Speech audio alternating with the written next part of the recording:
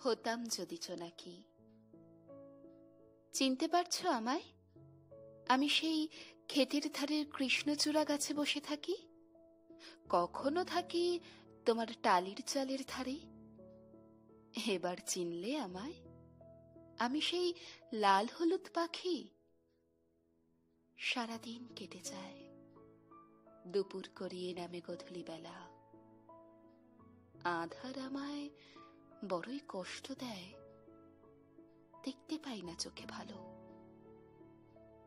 দেখতে পাই না তোমায়। তুমি ফিরে যাও ঘরে, আর আমি আপন নেড়ে।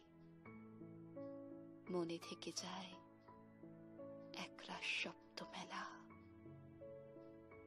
আমি ভালোবাসি তোমায়। ভালোবাসি তোমার পরিশ্রম, তোমার সততা। আমি সেই লাল হলুদ পাখি বলতে পারিনি কোনোদিন তোমায়।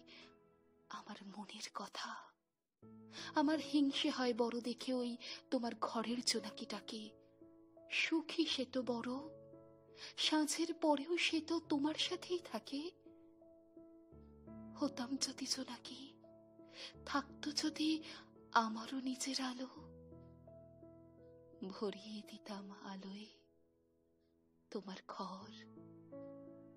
থাকতো না আর সন্ধে নামার ভয়। থাকতো না আর আধার ভরা কালো। তোমার মাটির দেয়ালের একটি কোণে থাকতো আমার বাসা।